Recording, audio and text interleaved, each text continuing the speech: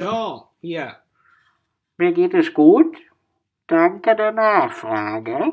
Ich schalte mich an die Empfehlung des Roland Koch Institutes. Selbstgespräche nur mit Megafon. Einfach um den erforderlichen Sicherheitsabstand zu mir selbst zu gewährleisten. Nee, so schlimm ist es noch nicht.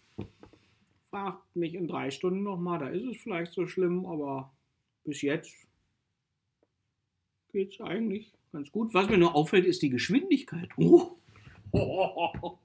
Das ist ja alles noch gar nicht so lange, aber es ist irgendwie schon alles kaputt. Zum Beispiel meine finanzielle Situation. Gut, so furchtbar viel konnte da nicht zerbröseln, na, aber jetzt ist sie wirklich, äh, also, so ist der Monsterschrei. Ne, so. Also sie war vorher auch schon so, aber jetzt ist sie in kürzester Zeit ist sie noch so. Und ich wusste gar nicht, dass es so viel schlimmer noch werden kann, ne? aber kann's. Und so geht's ja bei einigen von uns. Ne?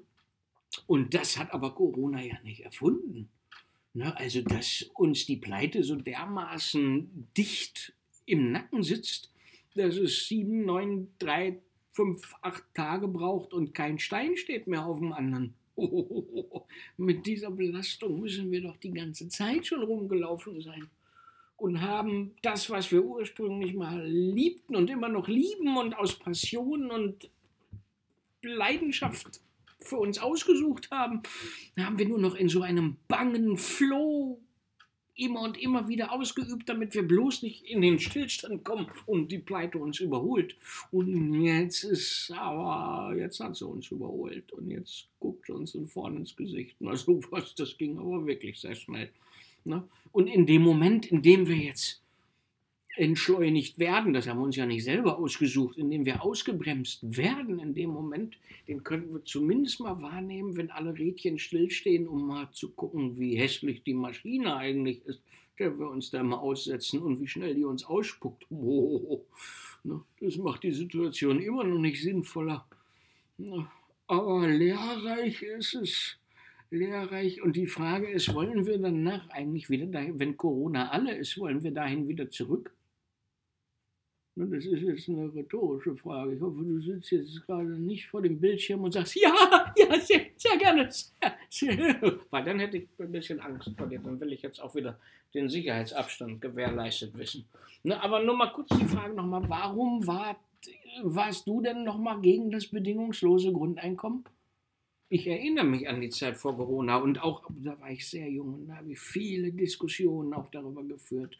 Und da gab es immer ein Gegenargument gegen das bedingungslose Grundeinkommen ein soziales Gegenargument, das lautet, das Elementarste war immer, ja, wenn wir alle nicht mehr arbeiten müssen, ich würde, ich mache das ja gerne, was ich mache, nicht? aber die, die anderen, die, die lassen doch alles gleich fallen, dann geht alles kaputt. Weißt du, das ist eine schöne, das, theoretisch ist es eine schöne Idee. Und wenn die Welt, wenn es die Welt hätte ohne diese anderen, Ne? Also mit, mit mir, dann könnten wir es machen. Aber diese anderen, das, äh, das hat überhaupt keinen Sinn. Ne?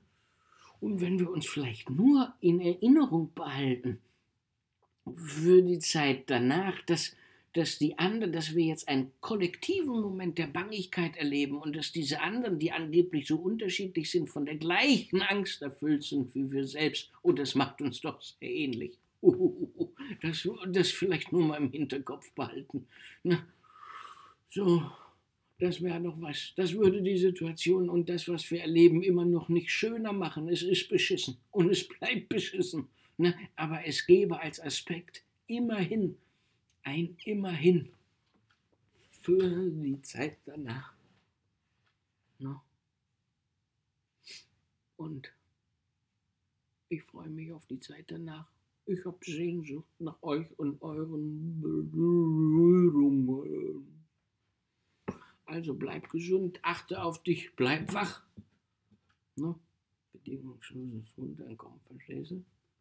Dann wäre diese Grundbangigkeit weg. Da wäre eine Grundsicherung statt Grundbangigkeit. Finanzieller Natur, das regelt alle anderen Probleme nicht, aber die Bangigkeit wäre wenigstens dabei weg.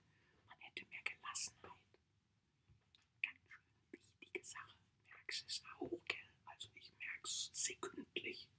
Und ich freue mich auf dich, wenn wir uns wiedersehen. Du bist so schön.